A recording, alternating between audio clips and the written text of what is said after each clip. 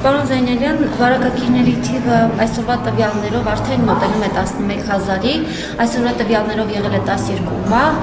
3 գրանցվեց 19 մահ։ Այս թվերը ինչ են մեզ հուշում։ Նախ հայտնաբերելիությունն է մեծանում, այսինքն սա կախված է տեստավորումների քանակից, որքան տեստավորումը ավելանում է, ըստ այդմ հայտնաբերվածների թիվը, դրական պատասխանների թիվը մեծանում է եւ բոլոր միջազգային կառույցների ցուցումներով տեստերը պետք է ավելացնել այնքան, որ դրականների տեսակարար կշիռը լինի 10-ից 13%-ի շրջանակներում եւ ըստ էության արվում է դա, թեև այդ ցուցանիշերին չենք ասել, բայց տեստերի քանակ, տեստարումների քանակը ավելանում է եւ ըստ այդմ հայտնաբերված դեպքերն են ավելանում։ Նախարարությունը արդեն անցել է խորը շերտավորման, որովհետեւ երբ առողջապահության նախարար Արսեն Թորոսյանը հայտարարեց, որ գալու մի պահ, երբ անցնելու են խորը շերտավորման, լինելու են դեպքեր, երբ ծայրահեղված վիճակում գտնվող անձինք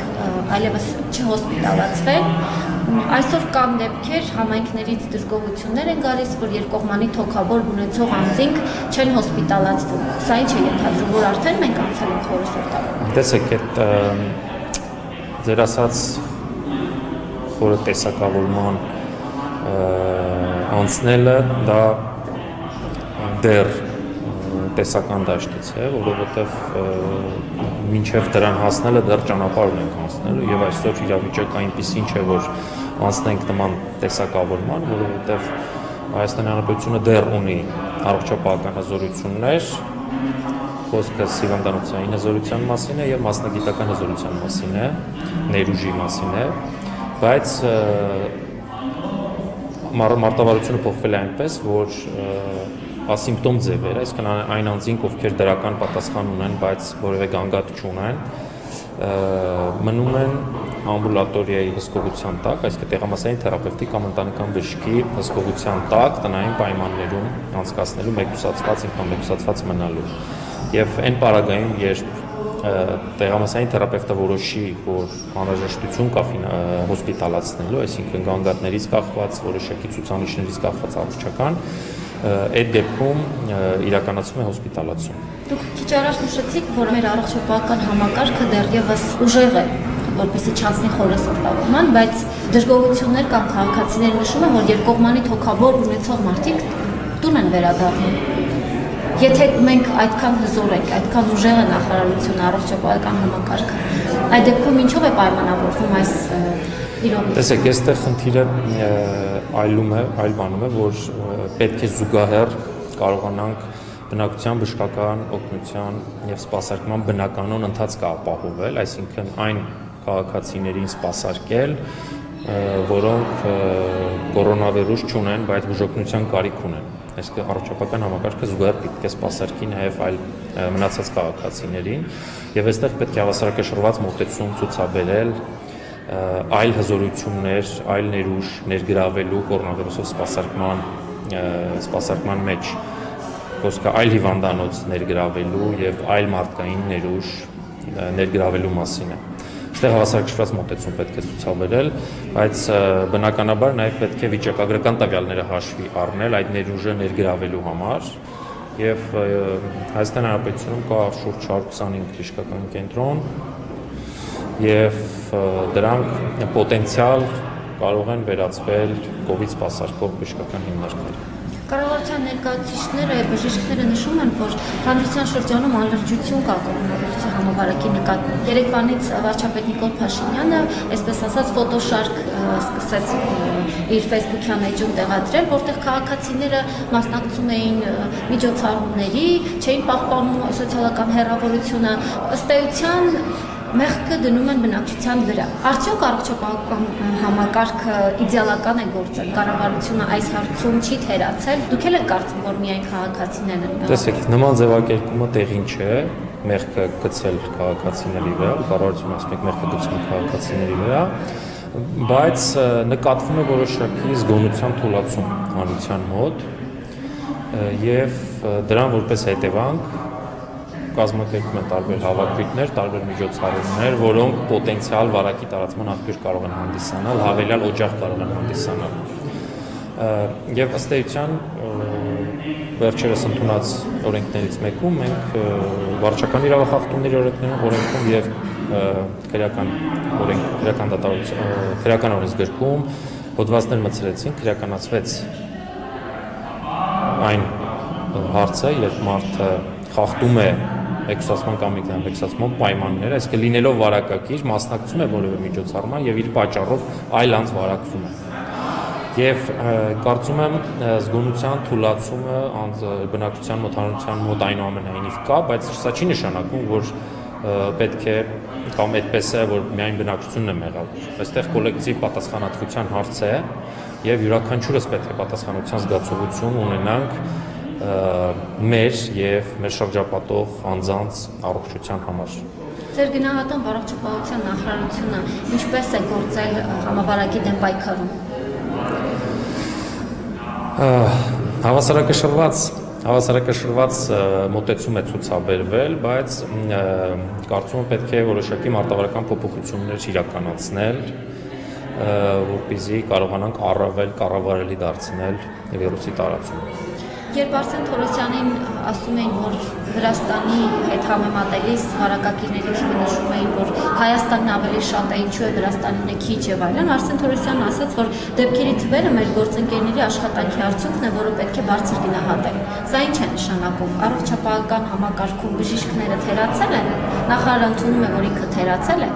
Ես իմ ասածները կարող եմ մենակ միայն մեկնաբանել, կարծում եմ հարցի հասցեատերը ես չեմ, բայց ինչ վերաբերում է այլ պետություններում ցուցանիշների, թվերի, դեպքերի եւ ձեռքբերումների հետ կապված, իմ նկատի ունեմ հակամաճարակային միջոցառումների իրականացման ծավալի եւ ուղղությունների հետ կապված, յուրաքանչյուր երկիր ինքն է ընտրում իր պայքարի միջոցները, որովհետեւ որևէ երկիր ամբողջ աշխարհում չէր բախվել այս վիրուսի այս տեսակի հետ եւ բոլորի համար նորություններ եւ փորձություն յուրաքանչյուր առողջապահական համակարգի համար յուրաքանչյուր պետության եւ յուրաքանչյուր պետություն ինքն է ընտրում ռազմավարությունը եւ մարտավարությունը եւ ընթացքում փորձ է կատարվում այլ պետությունների փորձը վերցնել, ովքեր որոշակի ավել կൂട്ടակած փորձ ունեն այս իմաստով եւ իրականացնում է իր պետության մեջ եւ ըստ այդմ յուրաքանչյուր պետություն ունենում է կամ կունենա տարբեր ելքեր, տարբեր արդյունքներ, տարբեր գրանցված ձեռքբերումներ։ Եվ այս պահին, քանի դեռ չի ավարտվել այսպես ամբողջ աշխարհում համաճարակի սուր շրջանը, ակտիվ տարածման շրջանը, հստակ գնահատականներ տալ, թե որ մեթոդաբանությունը կամ որ ռազմավարությունն էր ճիշտ, կարծում եմ այնքան էլ տեղին չի, որովհետև սա կոմպլեքս միջոցառումների, կոմպլեքս միջոցառումներ են, ոչ թե 1-2 գործողություն, որովհետեւ կարողանանք տալ գնահատական պատգամավորները նշում են, որ COVID-ի դեմ պայքարում Արսեն Թորոսյանը ձախողել է միանշանակ։ Կրկին վերադառնանք Վրաստանի փորձին, նախարարը նաև հայտարարում է, որ մեր առողջապահական համակարգերն են տարբեր։ Արդյոք սա արդարացնում է նախարարին։ Նախ նման պաշտպանական ռեակցիա չէ։ Նախ նման ձևակերպումներից ես զերծ կմնայի, բայց ըստ էության, այո, յուրաքանչյուր պետության առողջապահական համակարգ ունիկալ է եւ բնականաբար որևիցե ձևով տարբերվում է մեկ այլ պետության առողջապահական համակարգից։ Սա նորմալ է։ Այստեղ եւս մեկ անգամ նշեմ մոտեցման հարց է։ Յուրաքանչյուր առողջապահական համակարգ, յուրաքանչյուր պետություն ինքն է ընտրում իր ռազմավարությունը ինչպես պայքարել։ Եվ դրա արդյունքում ունենում է այս կամ այն ելք եւ գնահատականներ տալ արդյոք տապալված է թե չէ կարող ենք ընդհանուր կարող ենք ընդհանրապես վերջում այլ ոչ այս ընթացքում ընթացքում կարող են որոշակի որակումներ կամ կանխատեսումներ անել բայց ոչ ընդհանուր պայքարը ընդհանուր պայքարին տալ որակում Կրկին վերադառնանք խորաշերտավորմանը, ինչ են սա իրենից ենթադրում պարոն Զեյնալյան։ Խորատեսական կարծիքներ են հնչում, որ եթե անցնենք այս փուլին, հիվանդները կմնան տանը, մեկուսացված եւ այսպես միայնակ Տեսեք, դա ըստ էության Իտալիայի կամ եթե չեմ սխալվում նաև Իսպանիայի փորձն է այնտեղ է կիրառվել դա, որ դեպքերը այնքան շատ են եղել եւ մահերը այնքան շատ են եղել, որ առողջապահական համակարգը էության կարելի ասել կոլապսի է ենթարկվել եւ մարդկային ներուժի առումով եւ սարքավորումների առումով սկստեյության չեն հասցրել բոլոր բոլորին պատշաճ բուժօգնություն ցուցաբերել բոլոր կարիքավորներին եւ անհրաժեշտություն է առաջացել որոշակի ընտրություն կատարել կախված հիվանդության ծանրության աստիճանից, կախված անձի քրոնիկական հիվանդությունների արկայությունից, հնարավոր կանխատեսելի ելքից այդ երկրներում որոշում է կայացվել ընտրություն անել։ Մենք որ երկրների փորձն ենք կիրառել։ էլի եմ նշում, մենք որևիցե երկրի փորձ չենք կիրառում, վերցնում եւ այստեղ կիրառում, որովհետեւ յուրաքանչյուր երկիր ունի իր առանձնահատկությունները կախված եւ մարդկանց ազգային մշակույթի հետ, մարդկանց շփվելու հաճախականության հետ, միմյանց տուն այցելությունների ակտիվության հետ, տարբեր երկրներ տարբեր տարբեր իրավիճակ է եւ ըստ էության եթե վերցվում է մեկ մի երկրի ինչ որ դրական փորձ, դա անպայման պիտի տեղայնացվի։ Հասկանանք, որ այդ երկրում դրական փորձը արդյոք մեր մոտ կիրառելի է եւ կունենա նույն արդյունքը ինչ որ տվյալ երկրում Մեր դրական փորձի մասին խնդրում եմ նշեք. Համավարակի դեմ պայքարում։ Ինչ դրական փորձ ունենք, որ կարող են այլ երկրներ մեզնից վերցնել։ Տեսեք, ամենևին էլ մենք մեր տրամադրությունը, տրամադրվածությունը այնպես չէ, որ ինչ որ մի բան անել, որ այլ երկրի համար օրինակ ծառայել, որ այդ երկիրը մեզանից փորձը վերցնի։ Մեր գերնպատակն է հնարավորինս կանխել վիրուսի տարածումը, այն դառնալ կառավարելի եւ առողջապահական համակարգը թույլ չտալ, որպեսզի կոլապսի ենթարկվի։ Սրա համար ըստ էության անհրաժեշտ է մեկ տրամաբանական շղթա՝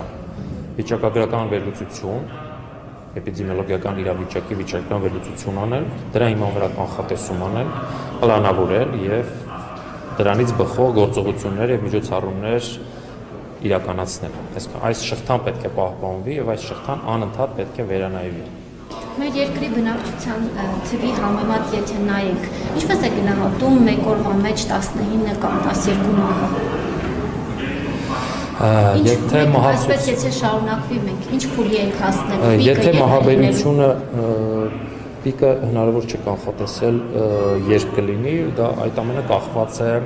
իրականացվող միջոցառումներից,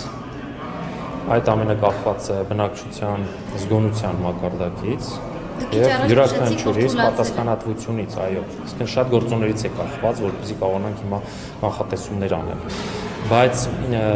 ըստ էության մեզ մոտ մահաբերության ցուցանիշը բարեբախտաբար ցածր է միջին մահաբերության ցուցանիշից ամբողջ աշխարհում եւ որոշ երկրների որոշ ես ասացի մահաբերության ցուցանիշ, որը հարաբերական ցուցանիշ է եւ հաշվարկվում է բնակչության թվականակով 100.000 բնակչի հաշվարկով, այսինքն ոչ թե բնակիչների, այլ վարակվածների մեջ որ տոկոսն է տեսակետը կշռում մահացես, սա մահաբերության ցուցանիշն է եւ ըստ էության մեզ մոտ դա բավականին ցածր է բայց նաև պետք է հաշվառել այն հանգամանքը, որ մահերը մոտավորապես 2-ից 3 շաբաթ հետընկած են հայտնաբերված դեպքերի հայտնաբերված դեպքերից այսինքն եթե մենք գնահատում ենք մահվան դեպքերը դա չպետք է համատել այսօրվա մահվան դեպքերը չպետք է համատել այսօրվա հայտնաբերված թվերի հետ այլ պետք է մոտավորապես 2-3 շաբաթ հետ գնալ եւ համատել այդ տորվա գրանցված դեպքերի դրական դեպքերի հետ 2-3 շաբաթ երբ հետ են գնում մահվան դեպքերը այնքան շատ չէ որքան օրինակ 3 մահվան դեպքերի մասին խոսքը չի այսօրվա մահվան դեպքերը պետք է համատենք 2-3 շաբաթ առաջվա արցանագրված դրական տեստի արդյունքների հետ որտեղ էլ եմ նշում մահերը մոտավորապես 2-3 շաբաթ հետ անցած։ Այսինքն այս ամբողջը վիճարկական վերլուծության արդյունք պետք է լինի։ Պարոն Զայնալյան, երբ նոր էր Հայաստանում համավարակը տարածում գտնում, ընդդիմադիր խմբակցության պատգամավորները նշում են, որ անհապաղ պետք է կանխարգելիչ աշխատանքներ անել, փակել սահմանները, թույլ չտալ, որ արտերկրից մարդիկ կան, մասնավորապես Իտալիայից։ Նախարարությունը ականջալուր կարծես թե չեղավ նրանց ոտորներին այն պահին, երբ պետք է լիներ։ Եվ մենք այսօր այն պատկերը ինչ ունենք ականջալուր լինել տարբեր հորդորներին, կարծում եմ սխալ է, պետք է վերլուծություն իրականացնել, կանխատեսել եւ գործողություն գործողություն կիրառել, այլ ոչ